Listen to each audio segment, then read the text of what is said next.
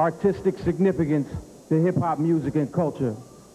This year's honoree is no longer with us, but his impact on hip-hop's past, present, and future will never be forgotten. Eazy-E.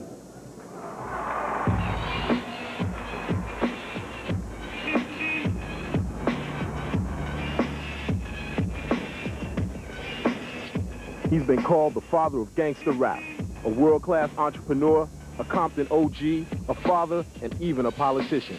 The little big man himself, Easy E.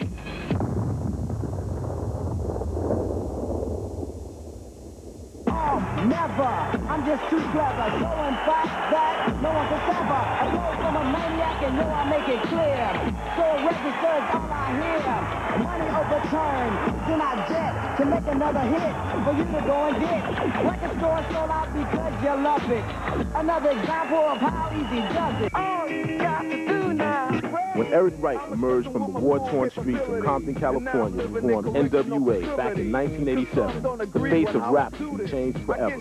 Comprised of DJ Yella, Ice Cube, Dr. Dre, MC Ren, and Eazy, NWA would serve as the new aggressive voice of millions of oppressed black men around the world. Check it out, y'all, in the house, y'all, so I can show and flow and let the people know. So won't you ease on down to the yellow brick road to Compton? I heard a dope beat. Somebody told me that Buck did it, but if Dre didn't do it, I can't with it. NWA is like a mix of fix a trick, real chicken with big. You're taking a chance when you think that talking under your breath won't lead to young death. Get but a killing for a nigga label as being a mother. After so many years of living the player lifestyle as a rap star, hip-hop's most rebellious member has been humbled not by an Uzi or a beatdown, but by a. The entire hip-hop nation took pause and watched with fear and new understanding as Eazy left this earth due to AIDS complications. I guess it's time for the trauma. With the E-A-G-Y-E comma, and that's drama.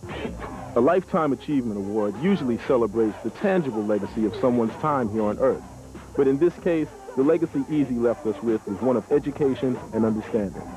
Eazy's life has served to inspire movements like Urban Aid and various other efforts devoted to educating young black and Latino youth about HIV. In recognizing the importance of Eazy's life, we recognize the importance of our own. As a tribute to the late, great Easy E, here are five thugs